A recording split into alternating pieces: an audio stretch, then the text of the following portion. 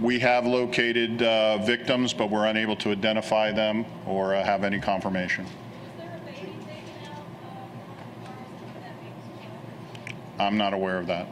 How many people were above, construction workers working on the bridge? We talked about the cars below. Do you have an estimate how many people were working on, on top of that bridge when it collapsed out?